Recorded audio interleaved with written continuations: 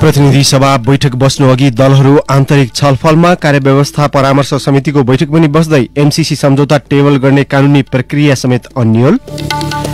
युक्रेनी सीमा क्षेत्रमा आफूहरूले युद्ध नचाहेको रुसी राष्ट्रपति पुटिनको स्पष्टोक्ति सीमाबाट सेना फर्काउन सुरु। र शहीद स्मारक ए डिभिजन लिग फुटबलमा आजबाट तीन खेलहरू सुरु हुँदै दशरथ रङ्गशालामा हुने पहिलो खेलमा मचिन्द्र र सातौँ युथ क्लब बीच प्रतिस्पर्धा हुने। नमस्कार कान्तिपुर डायरीका साथमा केशु र म अनिल समाचार अब विस्तारमा। प्रमुख प्रतिपक्ष नेकपा एमालेको अवरोध र कोरोना महामारीको कारण देखाउँदै पटक पटक स्थगित हुँदै आएको प्रतिनिधि सभाको बैठक आज बस्दैछ। बैठकको सम्भावित कार्यसूचीमा अमेरिकी सहायताको एमसीसी सम्झौताको विषय भने समावेश छैन। यसैबीच प्रतिनिधि सभा बैठक अगाडि सभामुख अग्निप्रसाद सापकोटाले बिहान साढे एघार बजेका लागि कार्यव्यवस्था परामर्श समितिको बैठक बोलाउनु भएको छ। सरकारले कार्यव्यवस्था परामर्श समितिको बैठकमा एमसीसी सम्झौता अघि बढाउने प्रस्ताव राख्ने सम्भावना रहेको सचिवालय स्रोतले जनाएको छ। सरकारले एमसीसी सम्झौता अघि बढाउन चाहे पनि सत्तारूढ़ दलहरू बीच नै सहमति हुन सकेको छैन। यसैबीच प्रमुख प्रतिपक्ष एमाले आफ्ना सांसदलाई आज संसदको बैठकमा पूरै समय बस्न निर्देशन जारी गरेको छ। एमाले सत्तारूढ़ दल र सरकारको कदम अनुसार अघि बढ्ने नीति लिएको सो पार्टीका प्रमुख सचेतक विशाल भट्टराईले बताउनुभयो। यसैबीच नेकपा माओवादी केन्द्रले संसदीय दलको बैठक आज बिहानका लागि बोलाएको छ। माओवादी केन्द्रले प्रधान न्यायाधीश चोलेन्द्र शमशेर जबरामाथिको महाअभियोग र एमसीसी सम्झौता लगायतका विषयमा छलफल गर्न लागेको हो।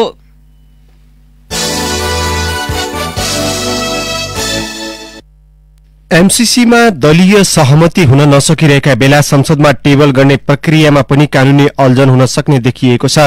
पचास मिलियन अमेरिकी डलर बराबरको सो सम्झौता संसदबाट अनुमोदन गर्ने भनिए पनि संविधानको व्यवस्थासँग बाजिएको र टेबल गर्ने प्रक्रियागत झन्झट रहेको कानूनविदहरूले बताएका छन्। कानूनविद टीकाराम भट्टराईले अन्तर्राष्ट्रिय आर्थिक सहायता सम्बन्धी सो सम्झौता संविधानको कुन धारामा टेकेर प्रस्तुत गर्ने भन्नेमै दुविधा रहेको बताउनुभयो। यस्तै माओवादी केन्द्रका नेता हरिबोल गजुरेलले पनि कुन कानूनी व्यवस्थामा टेकेर संसदमा टेबल गर्ने भन्ने विषयमा सत्तारूढ़ दलमै अन्यल रहेको स्वीकार गर्नुभयो। उहाँले भन्नुभयो एमसीसीका विषयमा दलीय धारणा त फरक छन् नै टेबल गर्ने कानूनी प्रक्रियामा पनि अन्यल छ।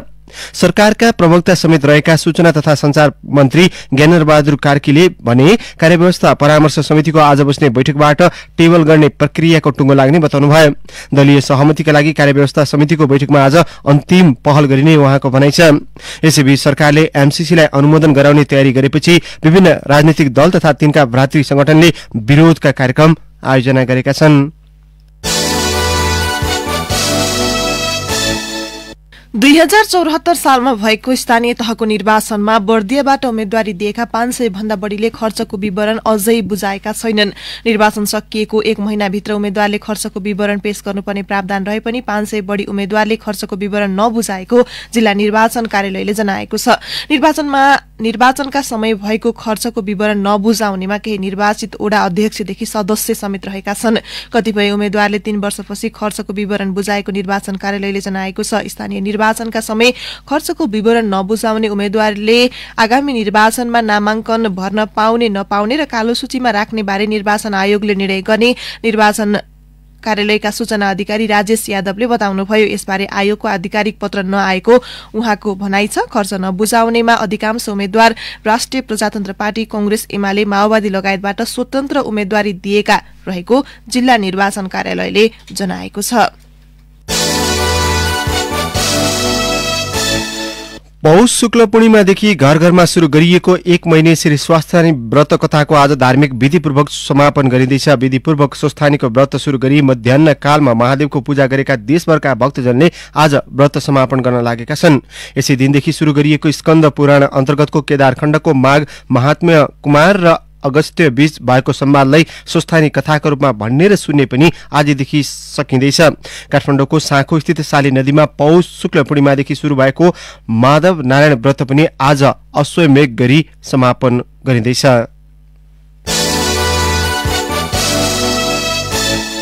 उदयपुरको उदयपुरगढ़ी गाउँपालिकामा टिप्पर दुर्घटना हुँदा एकजनाको मृत्यु भएको छ तीनजना घाइते भएका छन्। नेपाल टारबाट कोल्टेतर्फ बालुवा लिएर जाँदै गरेको टिप्पर ब्रेक फेल भई दुर्घटना हुँदा उन्नाइस वर्षीय उज्जवल खापाङ्गीको मृत्यु भएको प्रहरीले जनाएको छ। घाइते तीनैजनाको जिल्ला अस्पताल उदयपुरमा उपचार भइरहेको छ। कान्तिपुर डायरीमा अब ब्रेकको पालो।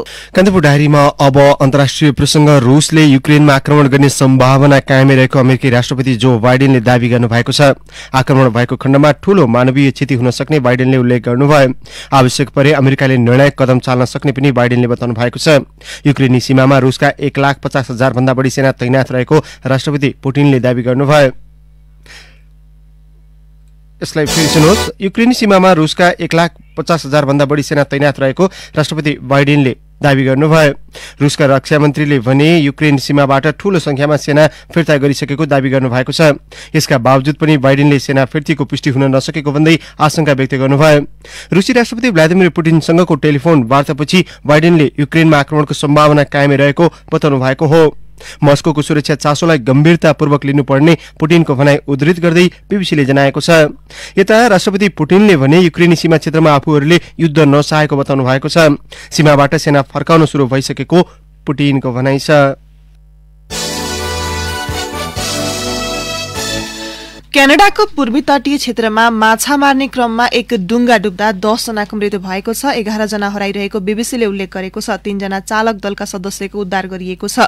हराइरहेका एघारजनाको खोजी भइरहेको छ। डुङ्गामा सोह्रजना स्पेनका नागरिक सहित पेरू र घानाका नागरिक समेत गरी चौबिसजना सवार थिए। उद्धारका लागि क्यानाडाले हेलिकप्टरको प्रयोग गरिरहेको छ।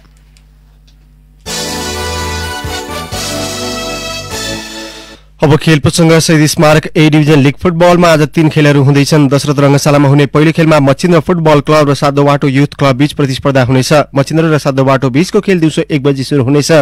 मचिन्द्र सातो बाटोलाई हराएर उपाधि यात्रालाई बलियो बनाउन चाहन्छ। मचिन्द्रलाई उपाधिका लागि तीन अङ्कको आवश्यकता छ। शीर्ष स्थानको मचिन्द्रले दस खेलमा छब्बिस अङ्क जोडेको छ। दोस्रो स्थानको मनाङ मर्स्याङ्दी क्लबको समान खेलबाट बीस अङ्क भएको छ। सातो बाटो पन्ध्र अङ्क जोडेर छैठौं स्थानमा छ। यस्तै रङ्गशालामा हुने दोस्रो खेलमा नेपाल पुलिस क्लब र थ्री स्टार क्लब बीच अपराह पाउने पाँच बजे प्रतिस्पर्धा हुनेछ। पुलिस दस अङ्क जोडेर दोस्रो स्थानमा छ भने थ्री स्टार सत्र अङ्कसहित चौथो स्थानमा छ। एन्फा कम्प्लेक्समा त्रिभुवन आर्मी क्लब र हिमालयन शेर्पा क्लब बीच पनि दिउँसो एक बजे प्रतिस्पर्धा हुनेछ। आर्मी अठार अङ्क जोडेर लिगको तेस्रो स्थानमा छ भने हिमालयन बाह्र अङ्कसहित आठौं स्थानमा छ।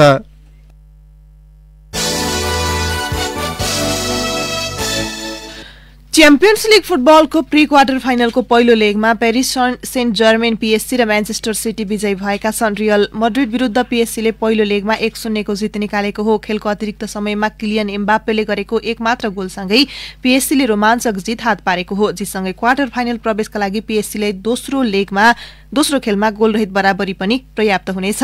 म्यान्चेस्टर सिटीले भने स्पोर्टिङ लिस्बनलाई पाँच शून्य गोल अन्तरले हराएको छ। प्री क्वार्टर फाइनलको पहिलो लेगमा म्यान सिटीका लागि बर्नान्डो सिल्भाले दुई गोल गरेको खेलमा Riyad Mahrez Phil Foden Raheem स्ट्रलिङले समान एक एक गोल गरे।